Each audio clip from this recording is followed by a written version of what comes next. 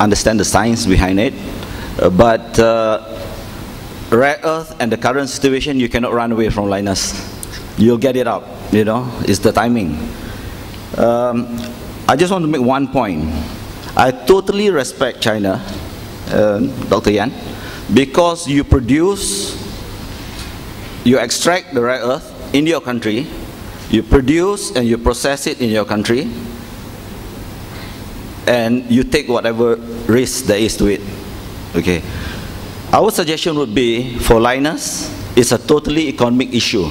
We have not seen the cost benefit analysis besides creation of some jobs in Gebeng, but there are other ways to create jobs. Our issue is Lynas, please, if you were to extract it in Australia, process it in Australia, produce it in Australia, and sell it from Australia. Thank you.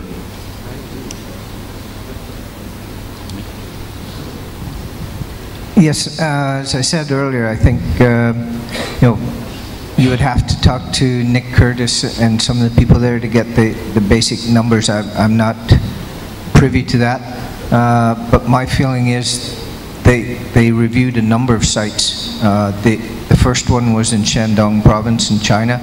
The economics, uh, because of the Chinese tax system, precluded them from going forward with that site. Um, I think they, they looked around uh, a number of different locations. I don't think just focused in on uh, Kuantan. Uh, but there were a number of benefits for Kuantan, seaport, uh, infrastructure, uh, access to chemicals, access to uh, educated labor.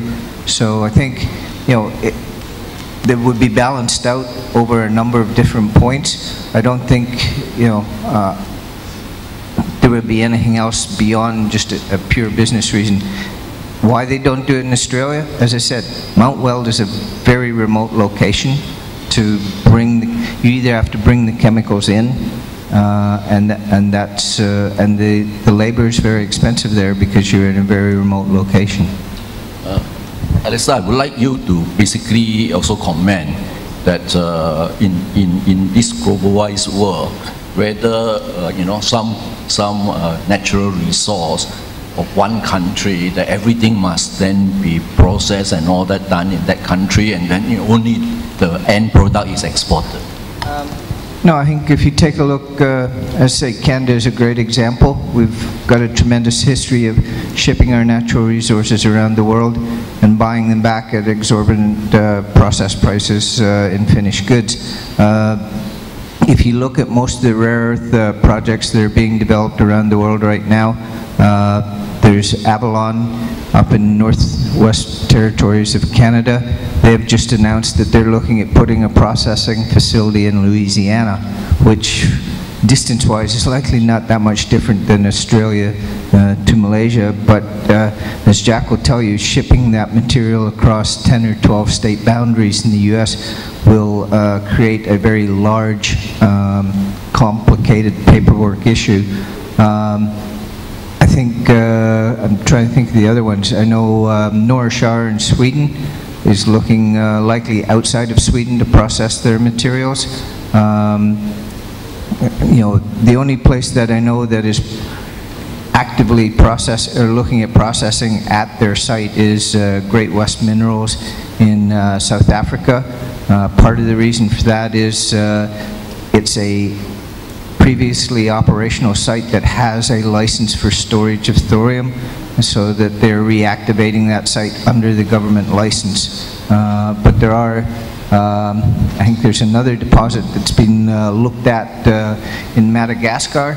Uh, they're looking at shipping or have announced a, uh, an agreement with uh, Rhodia, the French company. They would ship the material from Madagascar to La Rochelle in France for processing.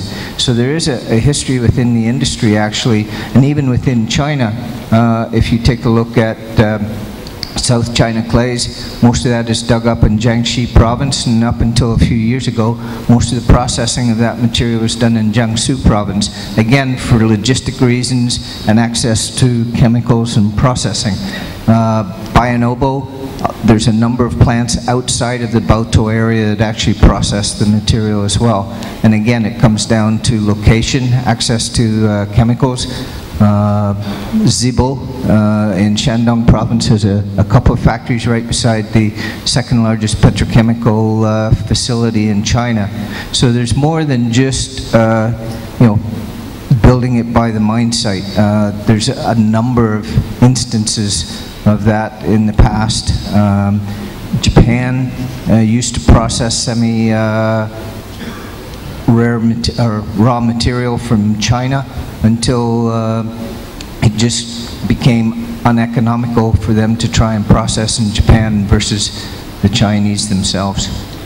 Uh, I, I, would like to also ask uh, uh, Professor Yan this you know, as China is buying out a lot of, uh, you know, natural uh, resources from Africa and other countries, uh, is there a possibility that you, you buy up a rare earth mine somewhere else and bring the ore back to China for processing? Mr. One, one comment, Mr. Chairman. Um, I totally understand the business side of it. If I was Lynas, I would pick Malaysia. I totally understand. Uh, I'm an economist by training, and I understand the rationale of, of Lynas. I don't blame Lynas at all.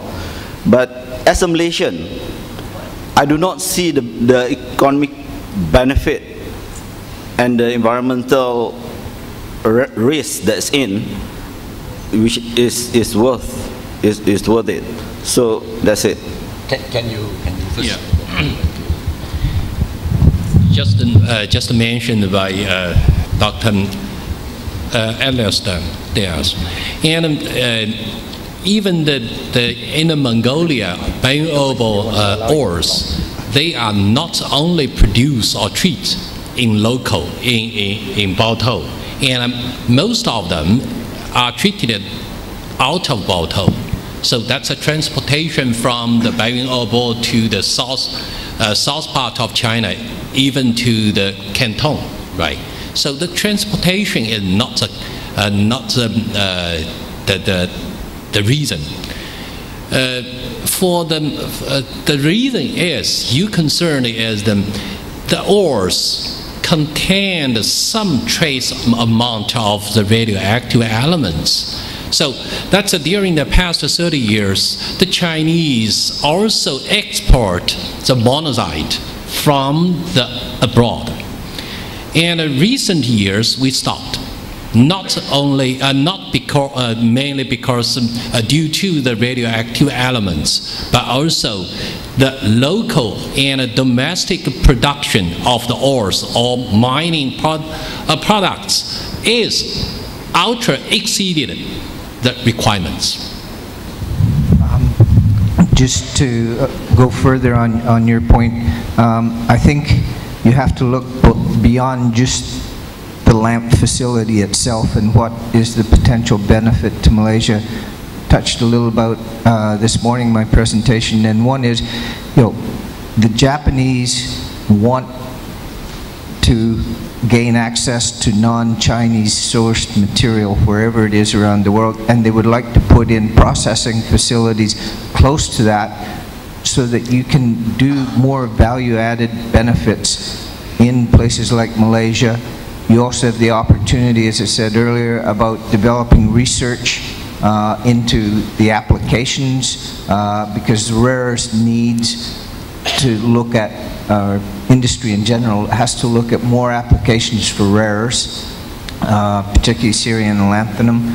Uh, but in addition to that, I think you can also develop a skill set within Malaysia that, uh, you know, China is the center of the universe when it comes to understanding rare earths. You have an opportunity now to go and become sort of the second center of the universe in research and development, process knowledge, engineering technology, and I think that's beyond just Lynas. I think there's a bigger picture here that can be built on, but you need, you know, you need government support, you need industrial support, and, and you need a, a longer term vision uh, in that regard.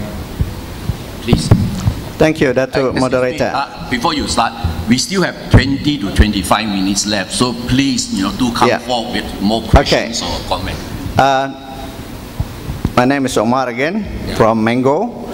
Um, I think earlier on we heard a comment from Jeff Lifton and also Alistair Neil that we are lucky here in Malaysia for, with the Lynas plan that we have the benefit of, of learning from the mistakes done in the past. And uh, uh, I think Jeff Lifton alluded us to the uh, Three Mile Long Island nuclear, disaster, uh, nuclear accident, not as a disaster, where he said that nobody died. Um, probably it's also worth noting that two days ago, Japan shut down their last nuclear plant, and there's no likelihood of that going to be recommissioned. And uh, this is a consequence of the uh, incident in Fukushima uh, last year. So, and, and also I think we have a presenter from Germany. Germany has already made it a public uh, knowledge that they're going to stop using nuclear in the year 2020. And, uh, and many other countries. So uh, I'm not going to argue about nuclear here, but there is a relationship here because we are talking about radioactivity. And, uh, and the uh, uh, McAllister even uh, brought us back to the Industrial Revolution uh, and trying to impress upon us that you know the Lynas plan is probably the base that uh, we've got after learning from the mistakes done in the past. My comment here is if we have learned from the mistakes of the past, we don't have to go far. We have got the Asian rare earth incident, accident that is still giving negative uh, effect to the people around there or even probably in the future. If we have learned from that, we will not be having this forum here today, now. We would have it two or three years ago before the first brick was laid in Gebeng. We should have done it before even we started it. That is the right way to do. But we are talking about the issue after the thing was even given a temporary go ahead to start production. And we're basically putting the cart before the horse here. So, have we learned anything from what happened in the past? So what, what, what is your question or what? No, my comment is we have heard comment from the expert, No, I know that. that you have international commented, expert, that we have now- learned from the past. Oh, so now But- what, what, what is your, your, your com- comment or from now? Okay, uh, gentleman just now, he gave his name, but he didn't say where he's coming, but I can assume he's, he's either an employee of Lynas or consultant with Lynas or connected with the project. He was saying that the, the thorium is six, uh, six uh, becquerel per gram, which is even uh, I think the same in Kerala, he said, was comparing it to the sand in Kerala as being uh, probably The beach, the beach. the beach, Ah, the beach, The beach in yeah, Kerala. the beach in Kerala. Uh, I don't know why he didn't compare it to the beach in in Kuantan or Batu Feringhi. But if that is so, Datuk Chairman, why did why did the International Atomic Energy Agency come up with the 11 point recommendation or stipulation as stated in this book on page 58 and 57, uh, 59. They could have come here and said, listen, there was no issue, pack the bag and go back. Why did they come up with this if, if what the gentleman said is of no concern to anybody? It's the way that he has put it to, to us. So that my view is they've come up with 11 points which the Academy of Science has fully endorsed and supported. Thank you. Uh, I, I think on, on, on that, uh, you know, the Atomic, uh, International Atomic Agency, you know, the expert group, the recommendation, which I, I think, if I understand, government and Lynas also accepted. I, I think the thing is not just that we invite an international uh, what call commission or a uh, uh, com committee of expert to come and just look at the plan and then just endorse because they did come and you know and have uh, conduct town hall meetings and all. So it's the same with uh, you know with what we are trying to do today. It's just that let us basically you know sort of uh, as all concerned Malaysians just you know express what our views and all this and then if there are international experts that can uh, you know, provide us with their experiences from their own country, then, you know, maybe we are all, you know, a, a bit uh, wiser about, about the, the issue. I think this is basically why we are having this meeting. But I, I, I, I want to, to say that uh, Bukit Merah in the 80s, now we are, what you call it, uh, uh, the first decade of the 21st century. So that's why I think we must not always go back to 40 years, 50 years ago because there has been a bad experience. Then we stop everything. But we must actually learn by actually going to the facts. I mean, this is a scientific approach that we go to the facts and then we look at it and after that and we say, okay, every, every venture, every uh, what enterprise uh, has its risk. So the, the, the, the, the, the, the, what you call the basic premise is just that you must ensure public safety. Just like Dr. McCall said, we must ensure public safety. And if we are not convinced that there are measures to to ensure public safety, then I think we like Academy Sciences Malaysia, we have a duty to tell government that, you know, unless you do something more, then this plant is not safe. But if the fact says that, you know, after comparing with what China's experience, Germany's experience, Canada's experience, that actually this is built according to known standards, then I mean, we, we have also got to say so. But as I, I said before, we must also ensure that the enforcement of uh, standards and regulation must be for the whole life of the plant, not just when, you know, because public concern is uh, very, very, you know, uh, hot at the present moment, then we, you know, we put attention, more attention to this. So, so I, I, I think that the other thing is that we cannot run away that this forum must have the Lynas shadow over it. So, but uh, except for Alistair, the other three, they only first visit to Malaysia yesterday.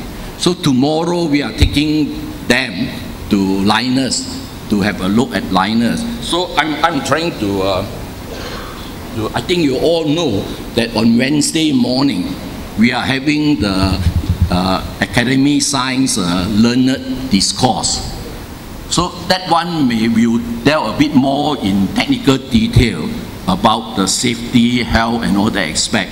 But I also would, would feel that they would comment, because after they visited Lynas, they would comment a bit more about their, their impression or whatever of the, of the Lynas plant and the discussion. So I would welcome everyone to go to the, to come and again, uh, what you call, to interact with our international expert on Wednesday morning. I think you all have got a copy of the brochure. Uh, this, this will be at the uh, Institute of Diplomacy and Foreign Relations that is Jalan Wisma Putra, Kuala Lumpur, on Wednesday, and it starts at 9 o'clock. And so, you know, we would like you to come again, and then maybe, you know, the, our international guests would have a bit more to tell. Because now you ask them about Lynas, uh, they have not been, and neither have I. So, you know, it is, uh, maybe they would have more to tell us uh, on, on Wednesday. So I, I would like uh, to urge you, if possible, you know, to continue with the, with the discussion and the, and the debate. Please, oh, sorry, I, I forgot about you. Yeah, no worries. Um, Good afternoon, everybody. My name is Adrian Yu. Um, I'm so glad that this morning's paper's presentation, touched by most of the speakers, um, valued that the processes, it's no longer the mining issue, it's very much on the processes that must be improved and must be transparent. Um, I also apologize uh, to the speakers if our Malaysian hospitality is a bit hot this morning, this afternoon. And It is not so. It's because that uh, most of us, uh, Malaysian public, are not being told the right facts and uh, be transparent of, of, the plant itself. Um, I, I, I, can share a recent uh, experience is that the local NGO group have to copy by pencil on a piece of paper, line by line, paragraph by paragraph, graph by graph, because the authority did not uh, allow uh, a copy to be given out to the public. I think this was the RIA uh, by, by the local authority. Um, this is the extent of the authorities preventing sharing of information to the public. Um, I hope that um, the international experts uh, like yourself could take note on that and also advise us uh, if, if, if, possible. I'm also glad that the organizers will bring um, you all to the plant itself because uh, the local people, the stakeholders of Kuantan have not even uh, been brought into the plant after various uh, requests. Um, my question would be, um, from your uh, experiences worldwide and also managing, uh, I, I, understand some of you managing some, some of the uh, rare earth plants as well. What do you do with the residues, uh, especially the radioactive residues uh, after the processing? Um, both the gases, the water leachate, and also the, uh, the solid waste. What do you do with the radioactive residue? Thank you. Professor Yan. Yeah, this is a good question. And uh, I just mentioned we should to, uh, to, to, to move our control line from the, uh, from the post to the pre-control of the residues. From the point of view of economics, and if the residue contains the radioactive elements, the cost to treat it is more higher than the pre-treatment. So if the process want to improve or the process is satisfied not only to the to the cost but also to the public I think that they should to uh, to make the control line as the pre-control to separate or remove the, the radioactive elements from the residue. And after the residues contain the, uh, such kind of the elements, it's um, no values to, re, uh, to be reused.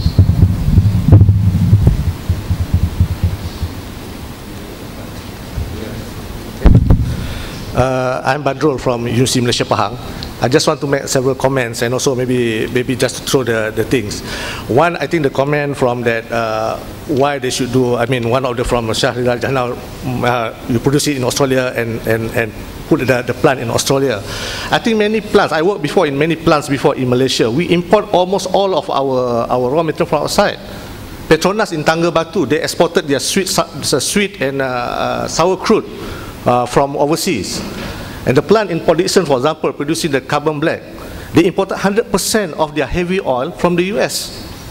And they have to waste after they use it. So it is not, for me, it's uncommon that a company come here and invest and, and, and, and process the, the, the raw material. I think there's so many examples. You went to the plant in Kluang, for example, the synthetic latex. It's the same issues. They also bring the styrene and butadiene from, the, from outside from all over the world.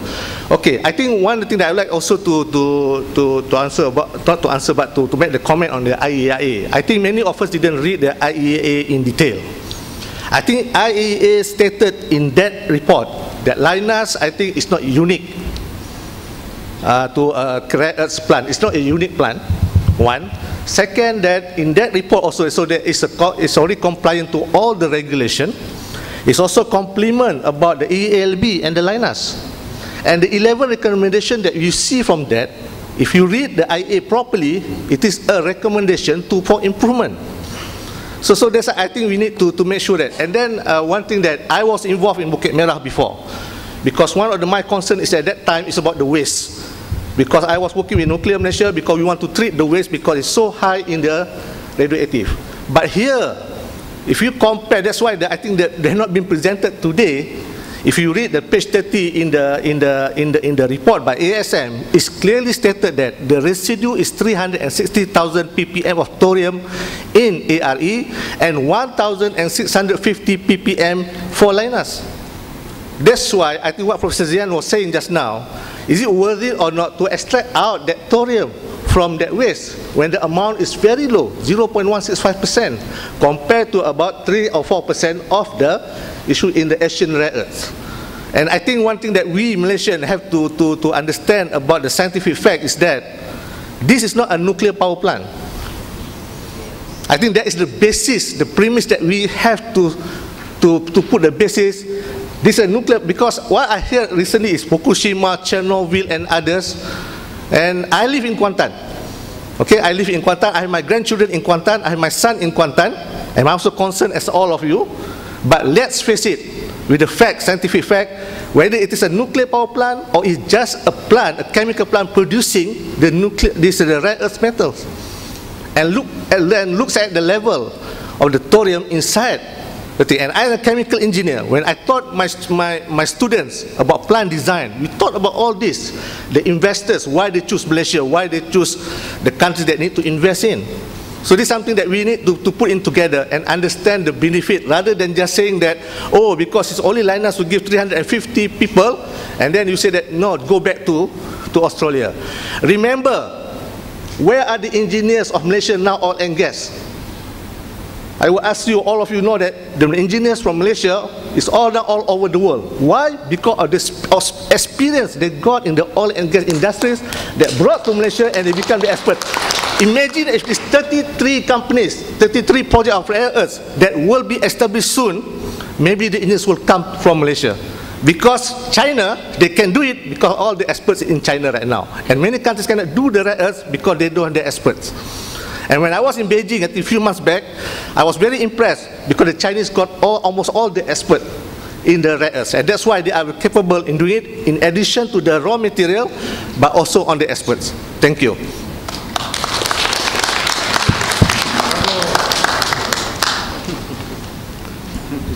Thank you. Can I make a comment to the last uh, speaker? Number one, when Petronas import in, it, it was a national benefit. Lynas is doing it. Yes, I can understand the process where we will be able to build local capacity, local expertise in the long term. I understand that totally. But I think you have heard today, the issue is the public confidence in terms of governance of setting up the plan. That is very open and transparent because we do not see transparency, we see uh, we see uh, things move fast, we do not see cost-benefit analysis, we see 12-year break for Lynas, and we do not, we are not able to weigh what is the benefit to the Malaysian, whereas the so-called unfounded fears overweigh us. We have no access to the plant, we have no uh, transparency dialogue with the people. We have to copy down even the reports. So you don't make it transparent, people will have their fears. And this is why I think uh, symposium seminars like this is good. But the question is, Petronas benefited because it was open, it was transparent, and it was a national agency that got the benefit. In, in Lynas' case, it's way far beyond that. Thank you. Thank you. Uh, can I have the last? Yes. The last say. Okay. Thank you, Dato. I'm actually uh, referring to your question earlier. Ah. Why uh, would China be buying a rare earth mine? You did ask that earlier. And I think, I don't know whether you did get the answer or not. Uh, the answer is, they did try to buy Lynas through a government, China government owned company by offering, by trying to buy 51.5% share in Lynas, but that was shot down by the Australian security uh, authorities. Uh, for what reason, I don't know, maybe security itself. But that was, they did try to buy it, and it was shot down. And because of that, that was why Lynas did not want to send it to China for processing. And, and, and they, they were choosing between somewhere in Western Australia and Kuantan. And uh, of course, the Japanese don't want it done in their backyard. They want it done in someone else's backyard. And don't forget, it was a Japanese company that was involved in the, in the Tanah Merah, in the Bukit Merah issue, ARE. So, uh, and again, you know, I think it always boils down we, we don't need to be a nuclear expert or a rocket scientist actually. It's just, it just to me, as a layperson, it defies logic and it, it doesn't fit into common sense. Why would Lynas, having all the ore in Australia there, I admit that maybe Mount, uh, Mount Weld is not a suitable area. It's right in the desert area. But there is a place somewhere near Australia, in the Western Australia, that you can get the water, you got, you got port facilities to do it there. Why would they ship it 5,000 kilometers all the way to Kuantan to do it? It just doesn't fit logic to me. Unless you're trying to say that Nicholas Curtis has fallen in love with Malaysia and is trying to make us a modern uh, economy or new in income economy. Thank you. Thank you. Okay. Um, I may have the timing wrong on this, but I believe the decision to go to Kuantan was made before the Australian government rejected the approach from the uh, non-ferrous metals in China. So the decision was already made prior to that. China has gone into Chile, to my knowledge, and bought a, um, uh, a deposit there. They're involved in Madagascar right now. Uh, China is going around the world, iron ore, uh, copper, uh, aluminum, you name it, you know, they need resource access to resources because they aren't self-sufficient internally. So this is something that they're doing on a very broad scale. Yeah. And certain places, uh, Canada for one, you know, we're very conscious of uh, people coming in and buying up our companies. You know, we had the largest nickel companies in the world, Inco and Falconbridge at one time, and those were taken over with a lot of internal discussion in Canada about those acquisitions.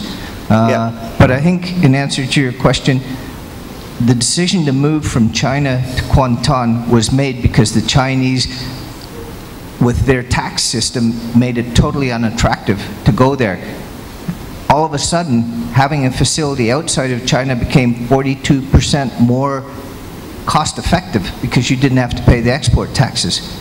That's why, the, to my knowledge, the facility didn't go into China.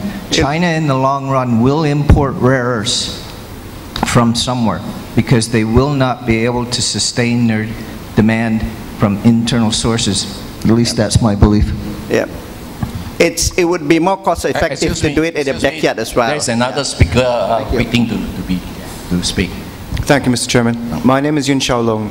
Uh, just two comments. The members of the panel, if you do manage indeed to visit the Lynas plant and get internal access, you will have a privilege that very few people have enjoyed to date because there was a press junket within the last month or so to visit the plant and the press were not allowed into the actual plant to survey the material there. They were taken in for a discussion with the local head of Lynas here, but he cut off the question and answer session quite abruptly after 30 minutes. And they were forced to observe the plant from the confines of the bus. So if you do manage to get in, then you will enjoy a lot more uh, access and transparency than Malaysians have had so far. Now, the second point is, going back to the issue of economics, I think you make a good point, Mr. Lifton. Uh, but at the same time, as many people have raised, there needs to be transparency here about what will the net economic benefit for Malaysia be. In a sense, we are helping an Australian company shift its operations to our own country and evade some of the responsibilities which they would otherwise be incurred in Australia. From what I understand from speaking to Australian legislators, it's normal practice in Australia if you extract minerals from a mine and you process them, you are duty bound to return them to the site of the mine for permanent waste disposal. one of the big question marks that we have in Malaysia now with the Lynas case is what is going to happen with permanent waste disposal. AELB has given Lynas quite a lot of time to consider that issue. They still have not been able to provide an answer. And that is worrying. Because if, as other people say, the Lynas plant is nothing special, nothing new in the world, then why is it taking so long to come up with a permanent waste disposal proposal? So that's a very big question mark that weighs on our minds. And speaking towards the theme of your conference today and your report, in terms of rare earth industries, that's another hypothetical as well, because Malaysia's R&D capacity, to be frank, is not very strong. In terms of developing and moving green economy technologies forward under Malaysian ownership and Malaysian benefit and profit, we're not going to, it's going to be very difficult to engineer that. Why? One, we don't own strategic patents on those kind of project, on those kind of products. Developing those will be very difficult given our existing scientific capacity. If you want them, we'll have to buy them, just like we've done with Lamborghini and so forth with other car makers and other technologies. That's very expensive. That's a very expensive route to development. What's likely going to happen if if there is a local market for rare earth production, rare earth material development, we'll have more foreign companies coming in, and we'll have to have the very difficult economic calculus, just like we have with Lynas, in determining what is the net benefit for Malaysia. If you give pioneer tax breaks, 12-year pioneer tax breaks to every single company that comes in, that works in this area, what does Malaysia get at the end of the day? The price for us may be good, but what will we reap? Excise and tax duties, customs duties. And that's very minimal. It's a very minimal okay. income or benefit uh, okay. to us compared to the rest. Thank so. you. Uh, can I just uh, add this about, you know, R&D capacities and all? So uh, our report actually uh, recommend that uh, universities here must build up the R&D capacity, not only for rare earth, for all mineral, because since the shutdown of our tin industry, you know, we don't even have a, a mining engineering de department uh, in any universities. I remember, you know, in the old days, uh, we used to, ex, you know, to export uh, experts, Malaysian, not expatriate, Malaysian tin mining experts to the Congo, to Brazil, to help them open up tin mines, you see. So I, I, I, I think that one of the, the recommendation is that that like Professor Yan from Beijing University is here. So we would like to, you know, to consult him about how to develop a curriculum, uh, not only about rare earth, R&D, but at the normal engineering course for mining as well. See, but we have even recommended that uh, the industry must be actually supported by SMEs, and for SMEs, you really need the vocational expertise. And we have even recommended that like China, you should actually go down even at the vocational training level. Now, if you say that uh, because we have no R&D expertise now, then things will not happen. But I must remind you that uh, like car industry, we have a, quite a flourishing car accessory industry. Like if we talk about the catalytic converter, now, uh, like I, I was with UMW Holdings, you know, as a independent non-executive director for nearly a decade. We actually manufacture the exhaust system, but the catalytic converter has to be completely imported. So I'm talking about if we have the rare earth and then the, the what called the motor assembly plant is now extended to do local R&D and procurement it's not a completely new industry. Like, like the rare earth is used in, uh, in uh, oil and gas. So oil and gas industry also, we are saying that if the rare earth element is available, then the, the factory, the multinational like the BASF, who manufacture the uh, MTBE, which is the octane booster for, for petrol, for lead, the lead-free petrol, then you know they would have the R&D here rather than at their home office in Germany, and then you know it will spawn more uh, downstream development of uh, related industry. Now, uh, before I, I close, can I just say uh, what we are going to do uh, from this seminar? Because time is short and our visitors are with us only a very short time. So the uh, Academy Science Malaysia uh, is already put the uh, earth ex, uh, the, the, the report on our website. I would like to recommend to Academy of Sciences to highlight it on the home page, rare earth. Then uh, we are going to make all the presentations today available. Also, uh, what you call Wednesday's uh, presentation available for download. And, and the Utah, Utah is very kind having four rapporteurs here. And we would particularly like this panel discussion to be actually, you know, make available as soon as possible. And then uh, be available from the website, ASM website. But partic more particularly is that, that if you, uh, we want to open a web consultation, a continuing consultation process. So if you have got any uh, questions to pose to our international uh, speakers here, they have undertaken to reply to you. So we hope that this continuing dialogue is a way forward for Malaysia, that we want to have consultation. I think uh, going forward, like uh, any new plant, uh, high-tech, green technology, every new plant will have risk because material use would be state-of-the-art, may not be proven. But the most important thing, like uh, if we can learn from even China and other countries, is that nowadays community consultation first, and then also scientific and academic, uh, what called consultation with the scientific and academic community, academic community from the concept, conception stage of the project, and then the whole life cycle, right up to decommissioning. It should be actually discussed. Uh, and this one, we would like to emulate the Royal Society. The Royal Society has studies on GMO, which is of great concern to Europe, and also on nanotechnology, because it is going down to the gene level, you know, and they have been having consultation on their website for seven years and passed on all the concerns of the public continually to the British government. And this is what we would like our academy to emulate our sister academy in the developed world and then set the pattern for public consultation going forward. Okay. Now, uh, before I, I, I, close, I would like just to point out that uh, I've downloaded three DVDs from the Phoenix channel on the Rare Earth but these are in Mandarin. And uh, unfortunately, the subtitle is also in Chinese.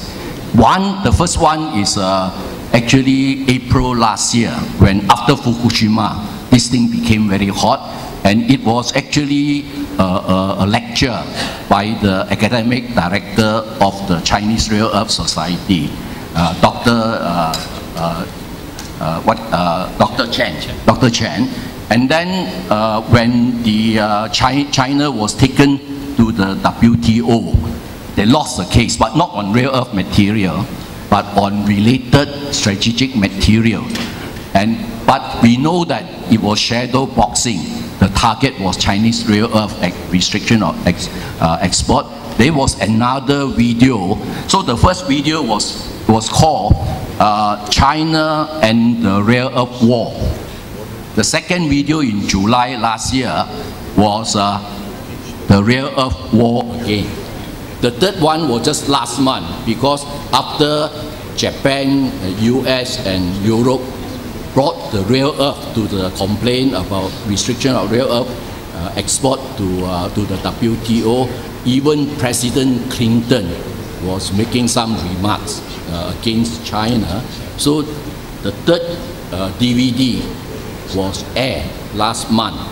And in that DVD, you can see what Baotou has gone through. The, the what called the dam, the dam into a lakeside, very bad. Uh, and then after that, now what they are trying to, uh, to do to improve the situation. But more importantly, there were two pictures of Lynas. The demonstration against Lynas. So if anyone who uh, understands Mandarin, who would like to have copy of this, just you know tell our secretariat and they'll make copies and send it to you. Actually, it is a very good reference material for you to understand the world of the rare earth, how strategic the material it is. Okay. Uh, so uh, with this, I would like to thank all our panelists uh, for for for this uh, panel discussion, and also to thank all of you for being, you know, so proactive in making this uh, discussion actually very very fruitful. Thank you very much. For chairing the panel discussion. Ladies and gentlemen, we now invite Yang Berusaha Dr. Ahmad Ibrahim, CEO and Fellow of the Academy of Sciences Malaysia, to deliver his closing remarks and close the symposium. Dipersilakan, Doctor. Bismillahirrahmanirrahim. Assalamualaikum and good evening. I've been following the discussion, so there is still a lot of confusion. But what is clear is that there are opportunities in rare earth. What is also clear, there are risks. Actually, at the round table, we were supposed to discuss should Malaysia invest in rare earth, but there was overwhelming discussion on Lynas. Lynas is only one part of the rare earth industry. I think it is unwise if Malaysia is to actually capture the benefits of the rare earth to only focus on processing and separation. No. We should look at the whole value chain, the whole value chain up to the downstream. We should actually invite foreign investment to partner us in the value chain. But why should foreign investment come here? Normally, investors come First, if there is a supply of the raw material. Second, if there is a market. Malaysia, no market. And unless we have the supply of raw materials that Lynas is producing, no investor in the downstream will come here. So I think we have to decide as a country, is it in our interest to invest in rare earth? Now, why Academy Science is involved in this? You see, academic science, we are a scientific think tank. We produce advice for the government related to how science can help sustain the country's development or explore new opportunities that the country can tap in the emerging global market. We undertake under the Mega Science Program, we look at the various sectors of the country and look at the future. So while we're doing the work on energy, we stumble on this opportunity that is presented by rare earth. We have already listened to the presentation by international speakers that there is truly a big demand emerging because of this miniaturization of products.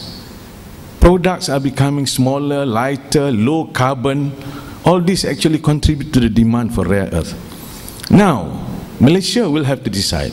We talk a lot about high income, high tech. Of course, every industry carries risk. We don't argue with that. There are risks in the rare earth industry, but are these risks manageable? This is a question that we have asked the international experts. And apparently there are technologies, there are mechanisms to manage those risks. So I think it's for Malaysia to decide. We as a scientist, as an academy, we only provide the facts. We provide the facts on science, on safety, on the risk, on the opportunities, on the technology. And if we are really to go big into rare earth, we have to invest in the human capital. We have to attract the joint ventures with foreign investment, we have access to markets. I remember I used to work for palm oil when we developed the oleochemical industry. Why did big names in oleochemical came here? because we have palm oil.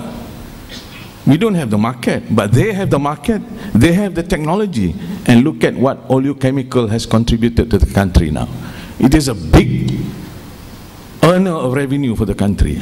So can we do the same thing with rare earths? Of course there are risks, but we need to manage this risk. I think uh, if Malaysia is serious about moving into this high-tech industry, this is only the first test case of a high-risk business. There are more coming our way. And the point made is that increasingly, all business, all industries must have the social license, I call it.